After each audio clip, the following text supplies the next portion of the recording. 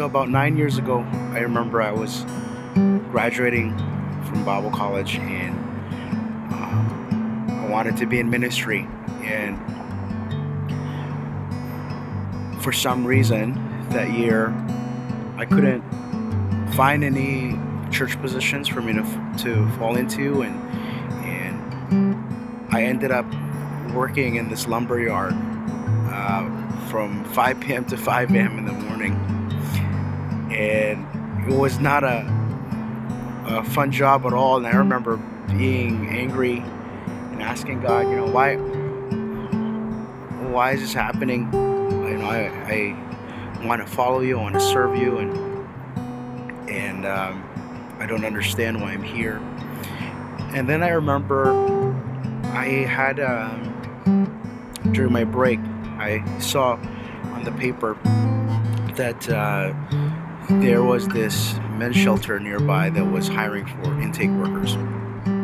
And so I applied, and I remember my first interview was at some small little room and you know i didn't think anything of it it wasn't anything special but uh, my second interview was at the men's shelter and i remember the shelter was very uh, stinky it was it was it was sometime in july so it was warm and and i, I don't know if you've ever smelled um, stinky socks before mixed with sweat and urine and all sorts of things. But the shelter was rich with smells. And I remember uh, as I was walking, I felt the Lord speak to me and say, You know, Ejay, this is the smell of people I love. I'll go love them. And so I, I I started in this crazy adventure of serving people in the margins, and they taught me all sorts of stuff about grace and love and and and how God interacts with them. And it was just this incredible journey to to see, you know, what what the good news is all about to people who really need good news. I mean, 90% of the youth that I worked with in the shelter were crystal meth addicts. No, but then another discovery came. I went through another transition time in ministry, and then uh, I was trying to figure out what I wanted want to do next. And I remember first thing came out of my lips.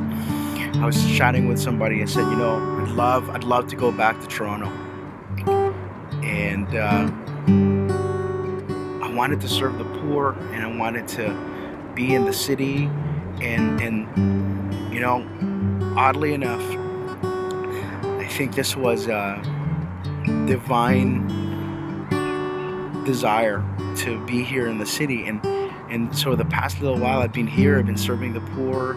I've been being here with people. I, I live in a great neighborhood. I been getting to know my neighbors and uh, just trying to be a light in the city.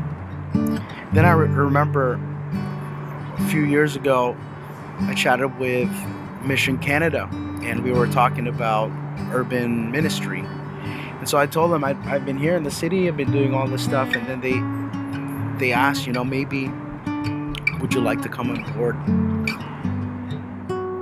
And then I, I thought about it and I prayed about it. You know, I, I was I was in a good spot. Um, I was working at Evergreen Center for Street Youth. We were doing some pretty uh, incredible things. We were serving drug dealers and prostitutes and, and pimps and and kids with heavy addictions and you know but i just had this sense that uh, i had to strongly consider it because this wasn't just about serving the poor anymore and serving the city.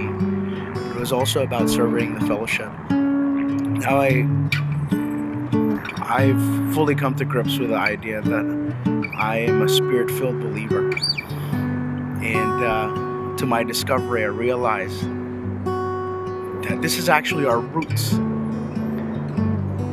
um,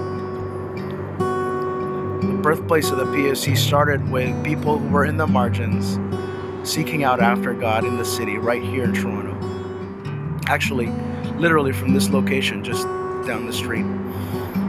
And that's what this ministry is about. This ministry is about trying to capture our city. And maybe the best way to capture it is not nothing new. It's not some new uh, new strategy for for reaching people who don't know Christ. Maybe it's just right embedded in our history.